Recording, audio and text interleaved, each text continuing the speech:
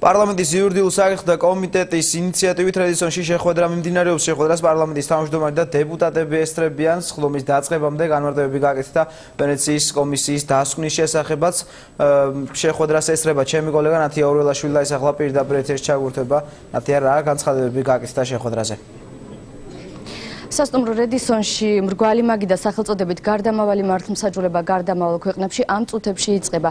ამ შეხვედრაზე დასასწრებად უკვე მოვიდნენ საპარლამენტო უმრავლესობის და უმცირესობის წევრები, მათ გააკეთეს მცირე კომენტარები ვენეციის კომისიის განხილვების შესახებ. საპარლამენტო უმრავლესობის წარმომადგენლები აცხადებენ, რომ კომისიამ დაახლოებით 95% იმ საკითხებისა, რომელიც წარმოქმნილი ქონდა მთავრობას ამ კანონპროექტთან დაკავშირებით, სრულად გაიზიარა. მოხდასაც ველოდებოდით ვენციის კომისიამ აბსოლუტურად დაადასტურა ერთი რეფორმის აუცილებლობა, მეორე ეს აუცილებლობა დაასაფუთა იმით და პირდაპირ წერია დასკვნაში, რომ სისტემა რომელიც დღემდე მოქმედება იყო, მოქმედებდა იყო არადემოკრატიული და არაკონსტიტუციური. მესამე შესაბამისად, ბუნებრივად ლოგიკური დასკვნა იყო, რომ ამას ჭირდება ცვლილება.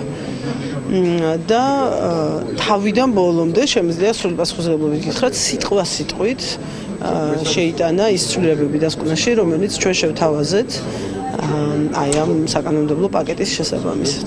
ესე პარლამენტი აირჩევს 6-ვე წევრს არასამთავრობო სექტორის წარმომადგენელთაგან, ანუ პოლიტიკური კომპონენტი მინიმუმამდე იქნება დაყვანილი.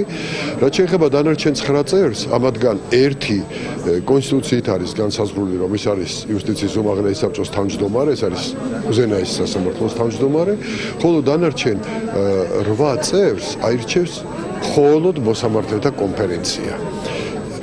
და აირჩევს იმ პირთაგან, რომლებსაც არ უკავიათ თანამდებობა სასამართლო სისტემაში. ანუ ჩვეულებრივი რიგითი რიგით მოსამართლეთაგან. ეს არის ძალიან მნიშვნელოვანი.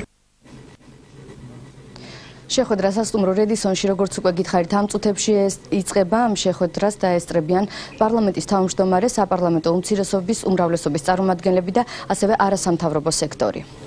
მადლობა ნათია პირდაპირ ეთერში ნათია